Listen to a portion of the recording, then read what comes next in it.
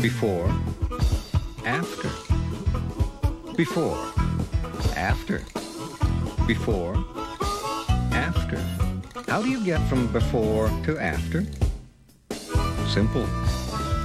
Introducing the Apple QuickTake digital camera. It makes everything you do look better. than before.